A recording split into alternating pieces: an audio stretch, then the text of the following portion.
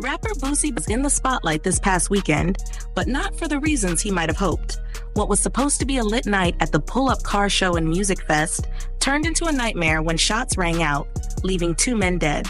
The scene. On August 10th, the I 29 Speedway in Pacific Junction, Iowa, was set to host a major outdoor concert featuring Boosie, Rob 49, and Rich the Factor. The vibe was all about cars, music, and good times, and fans were hyped to see these artists perform. But around 9 p.m., the scene shifted from celebration to chaos, the incident. The shooting went down in the parking lot, just as the event was heating up. Two men from Nebraska, Marcus L. Johnson, 28, and Charles A. Williams Jr., 27, lost their lives in the tragic incident.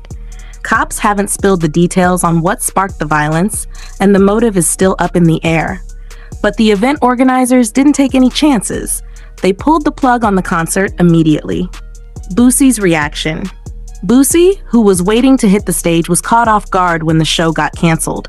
He took to Instagram, posting a video where he seemed confused about why the concert was shut down. Hey, they just shut the uh the concert down.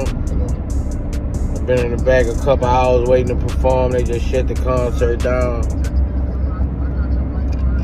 I don't know, some shit happened at the front, but we finna take it to Crush Ultra Lounge.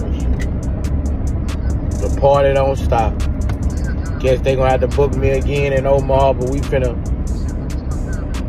we finna take it to Crush, man. Fish out the party. We finna take it to Crush. But Boosie wasn't about to let the night end on a sour note he quickly switched gears, telling his fans to keep the party going at a local lounge. As he put it, the party don't stop. The aftermath. Right now, the investigation is still ongoing, and the Iowa Department of Public Safety is keeping tight lipped about the details. The deaths of Marcus and Charles have left their families and the community reeling, and many are looking for answers. The bigger picture. This incident is another reminder of how quickly things can take a dark turn, even in spaces meant for joy and entertainment.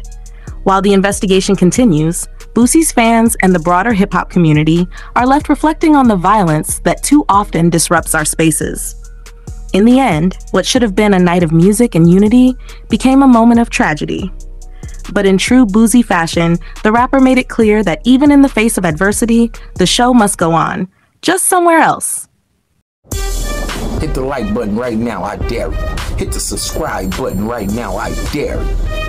Hit the share button right now, I dare you.